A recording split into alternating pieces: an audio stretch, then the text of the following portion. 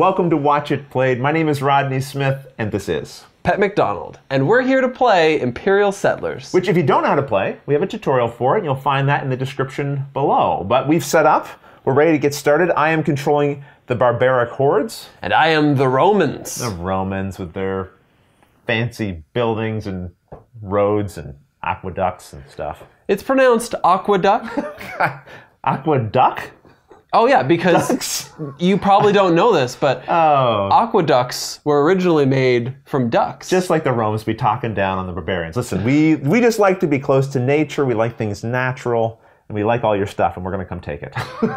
so I, we're all set up here. We're ready to go. Let's, let's get into this, shall we? Let's do it. Let's start with the lookout phase. So to start this phase, we both drew a card from our faction deck, and we determined randomly that I would be the first player. We also drew three cards from the common deck. of which you'll get first choice. Well, Mama's Baths here and the village will both produce workers, which I'm interested in, but barbarians hate baths, so I'm going to take the village. So Pep gets to pick one of these, then the other one is discarded. The Roman Empire is large enough. I don't need any more people. I'm just gonna grab Monty the merchant.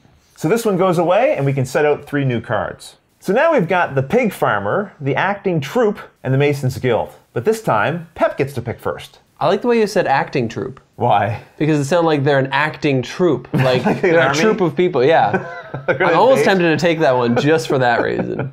But I'm gonna go with the Masons Guild. We have a lot of stone structure in Rome. Well, we have a lot of mud puddles in the barbarian tribe, so we're going to be the pig farmers. And the acting troupe will just have to take their performance somewhere else. It's technically the production phase, but Pep and I have already performed that. You can see we've produced all the items that we get from our faction. Why are yours so neat? Listen, we're barbarians, but we take pride in our appearance, okay? Apparently. And that's one thing we get is a lot of workers as barbarians and not much else. Whereas you start out with at least one stone and one wood. So I'm going to go out and gather some resources if I need them. And that's exactly what I'm going to do first. Using the action down here at the bottom of my board, which is the same at the bottom of Pep's, I can trade in two of my workers. I'm going to send them off to the forests and they're going to gather me some wood. And that's it for me. Over to you, Romans. All right, I'm gonna start off very warlike. I'm not too worried, Pep. I don't have very much built up here for you to take. That's true. I'm actually just gonna raise a card from my hand, so I'm gonna use up this sword already. Oh, you're going to war on yourself. Yes, indeed. I lied about that Mason's Guild. I don't actually need it. So you're stripping it for parts. That's right. And it's going to give you, as shown up here in the corner, one stone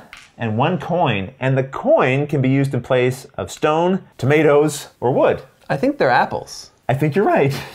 they might actually be apples. Tomatoes are fruit, though. Well, it's back over to my turn, and I'm going to put that wood that we collected to good use. I'm going to spend it to construct the beginnings of a barbarian village. And this tells me that I get a production of one worker and a building bonus of one worker. Well, with the Mason's Guild gone, I think I'm just gonna pop this ruins into play to represent it. And what do you get in the wreckage of that mason's building? Well, there was a mason left in there, so I am gonna get a building bonus of one worker. Okay, so we'll give you the, the poor mason, and it's back over to me. Well, I'm going to send another two of my barbarians back into the forest, and they're going to collect some additional wood for me. Building a lot of structures out of wood, are we? We'll see. Well, I'm going to be taking an opposite approach and building quite a few things out of stone, starting with this castle.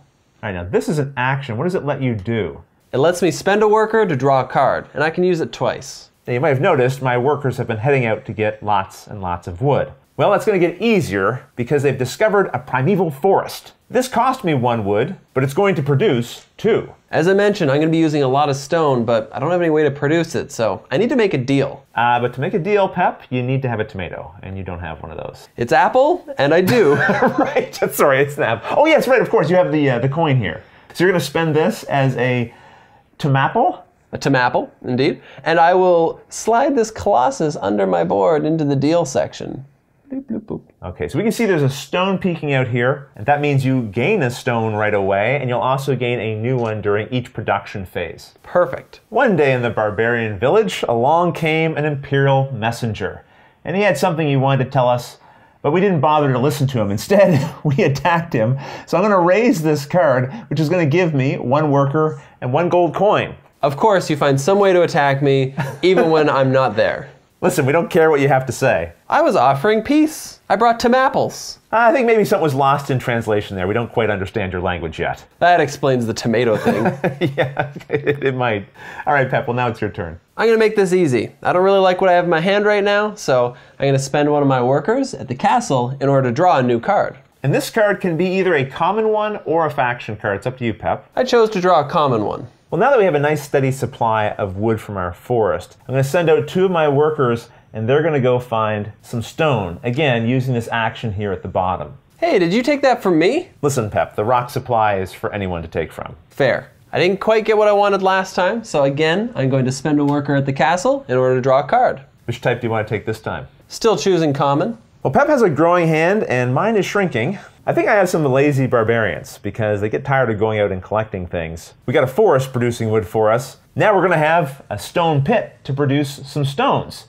So this is going to cost me a stone, which I have here, and then I also have to throw out one of my other buildings. I'm going to toss out this one and put this in its place. That's a barbarian building. Uh, right, you are. So it's not actually going to go on this side. It's going to go on this side here, and it will produce for me a stone, and a sword. It's important that it's over there too, because now I can't destroy it. Yeah, that's a good point to bring out. Your opponent can only destroy or raise your common side buildings, nothing that's built on the faction side of your board. All right, well, this ruins is just too much of an eyesore for me. Time to clean it up. That's right. So following suit with you, I'm going to be building this garden. That's going to cost you a stone and a wood, and you also have to get rid of one of your other buildings. The ruins are gone. They were already ruined anyway. What does this garden do for you? Anytime I build a red building, it gives me two points. You just built a red building. Does it work that way? It does. You get two points right away. So on the score track here, Pep is going to gain two points, putting him in the lead. Remember that pig farmer I picked up earlier? Well, we're going to get him working here in the barbarian village, and this is going to cost me two of my wood. And then as an action, I can spend a worker and apparently an apple in order to gain two points. I pass. Oh, I suppose you are running out of things here, aren't you? Indeed. I don't have any production buildings. So now I can just take my actions in sequence. I'm going to send out two of my workers, and they're going to go out and gather some stone. And then I'm going to spend the stone along with this coin, pretending the coin is a wood, in order to erect this statue. Don't want you to think that we aren't cultured in our own way, Pep. This is a feature with a building bonus that says I gain a victory point for every gray building that I have in my empire. I only have one, the statue itself. So I'll give myself one point.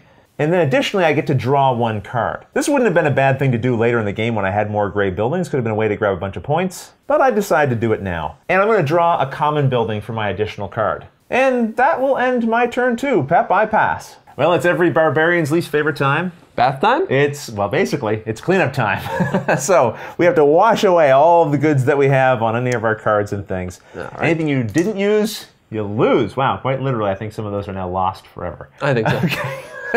and then at the end of the turn, we pass over the first player token. So you're going first now. And at the start of a round, it's the lookout phase. Look so, out! Look out! we each get to take a faction card, which we'll draw. And then we'll put out three of these common cards, and Pep, you will get Ooh. the first picks. Let's go to the table and see what your options are.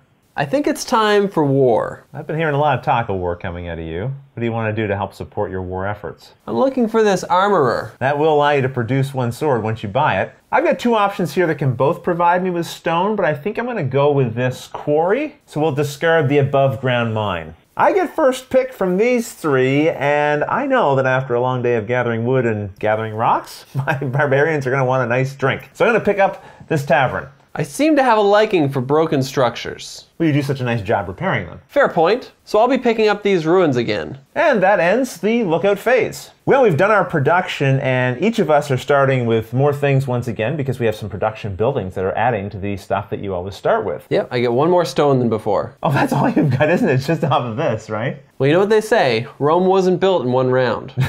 no, it wasn't. So you've got five rounds to build your Rome. What do you want to do in the second round? I feel like seven cards in hand isn't enough. So I'm going to spend two of my what? workers at the same time okay. to draw two more. And you can decide how you want to do these. You want two faction cards, two common cards, one of each? I will do one of each. Okay, I'm going to straighten out Rome here. It looks like it got tilted a bit. Pep, you've talked about war a couple of times already, but I think I'll perform the first act of aggression. I am going to spend two of my swords, which is the cost required to raise an opponent's building, so I'm going to take out your castle. This will not be forgotten. Oh, I'm sure of that. So these two we can just remove. I get the reward listed here, which is two cards. I'm going to take two of my faction cards into my hand. And then this gets flipped over, which means you can use it when you're building one of your faction buildings. I also get one wood. That's right, so we'll add this here, and that ends my turn. Well, what do you know? I was planning on redesigning my castle anyway. So maybe we don't have to think of this as an act of war. The barbarians came over and they, they helped out. You don't have to, like, get retribution later. Oh no, there will be retribution. I thought figure. What are you, uh, what are you constructing? I'm building a Roman fortress.